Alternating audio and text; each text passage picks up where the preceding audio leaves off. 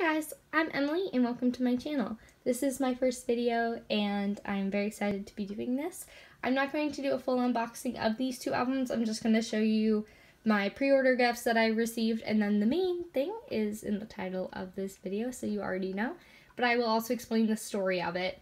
So I will start with this one. Um, this was the Kill This Love comeback. I do own the Square Up comeback as well, uh, both of the album versions. However, uh, this time I did purchase through pre-order. So through, um, I bought this one on Amazon, the black version, and I bought it through YG Entertainment on Amazon, so that was a little easier to use. Um, but they did send this little uh, Lisa keychain. I wish it would focus. Come on. Okay, well it's not going to focus. I'm sorry about that. But there's my Lisa keychain. Got that with pre-order. And I also got these two large postcards. So there's this one. And if I could grab it, there's this one. So I bought this one for about $50, I believe, on Amazon. And it shipped, this one came, this one took forever to come. Uh, it wasn't Amazon Prime or anything, it was just regular shipping. And I believe it took a week and a half to get here from Korea. So um, in the YG box is a little beat up. It was it, it, took a hit. I don't have the box anymore, but um, I didn't expect to be getting a package. So um, and then a week after this, I was only gonna buy one version, but then I was like, well, I bought two before, and I promised myself I would buy every single version of their album. So if Blackpink comes back with four albums, I'm buying four versions of their album. Anyways, um, this one I bought through K-Town for you. Um, I will link the website in the description. Um, so I bought the pink version, and with their pre-order, if you ordered between um, April 3rd and April 23rd, you got these postcards. So they are signed, but they're like printed signed, so doesn't they're not really signed, um, but kind of different. And this is a different image than the YG one. It's just slightly different with their facial like I don't I don't know what I was going for. Faces, their faces are just slightly different, um, their emotions, but they're still very pretty postcards. So I have those, and um, now on to my story. So I got a notice from my post lady. I missed a package apparently. So I went to the post office today to see what it was. Well, Postman came out with this. It had a K-Town sticker on top, and it had YG Entertainment. And yes, I know the box is torn apart. I pulled it apart in my car because I wanted to know what it was. I was very excited, and I'm just excited. I'm so sorry.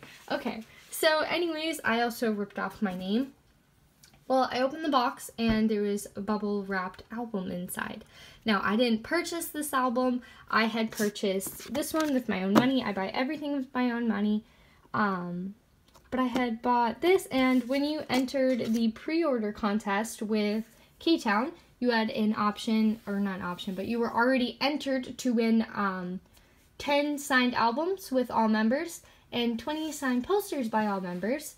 Um, that's within the pre-order. So I believe there were 40,000 total pre-orders. So out of 40,000, you had 10 people that would win signed albums, 20 that would win signed posters.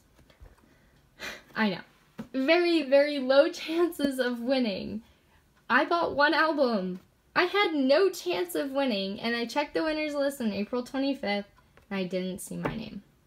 And I was so sad, but I knew it was coming, so I wasn't that sad. I, I mean, it would have been worse if I'd bought in like 300 albums like some people did. Um, but I got the box. So I was really confused. Um, I had just bought Winner's album from their last comeback, or not, well, this current comeback, and I thought it was maybe that, but I had already received that from K-Town about three weeks, no, I don't remember how long ago exactly, but I bought, I got it like three days after the comeback anyways, or after shipment, I'm not sure. It was very quick, that's all I have to say. K-Town is very quick shipment, uh, I did DHL as well. Um, it's a little bit more money, but trust me, worth it if you want your stuff right away. Anyways, I picked up this box, ripped it open, and inside was a signed Blackpink album. Now, I did put a sticky note over my last name. It does say my last name on there, which is so cool because it's like completely personalized for me. And it says to Emily and then my last name. So that's like so super cool. And then it has Lisa, Jennie, Jisoo, and Rose's signatures on the front. Now, I cried in my car when I opened this because it was the last thing in the world that I expected to ever get.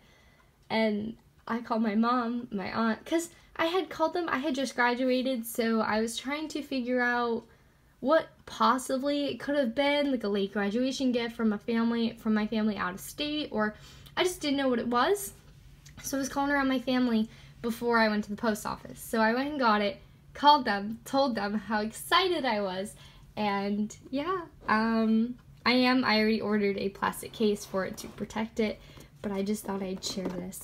Um I'm not meaning to brag or anything. I just I wanted to share my excitement with other blinks and show you guys that you don't need to buy 500 albums to win a contest. I bought one.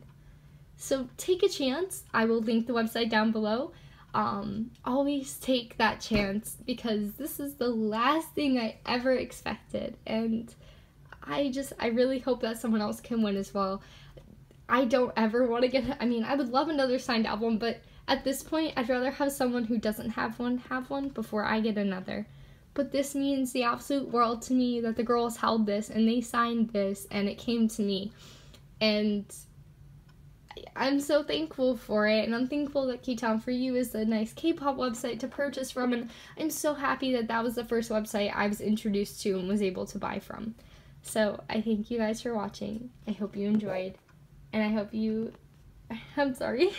I just hope you guys enjoyed and thank you for watching my video. Bye guys.